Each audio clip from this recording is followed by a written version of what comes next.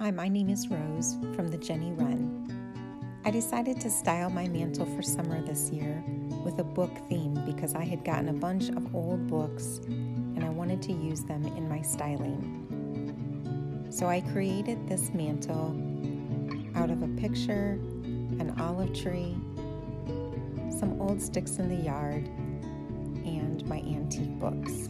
When I style a mantel, I typically start in the middle with a frame, a picture, or a mirror anchoring my space.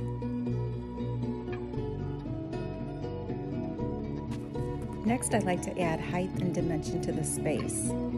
So I started tall on the outside and I'm going to work my way down on an angle to the middle.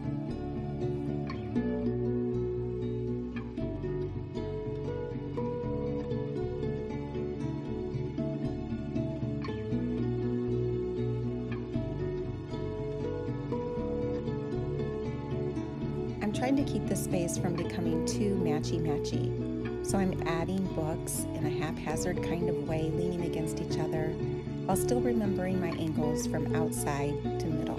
And finally, I love to add lights to any space I can. These battery operated lights are so much fun. Don't forget to have fun when you're styling your mantel. And you can come visit me at thejennywren.com for more tips and ideas.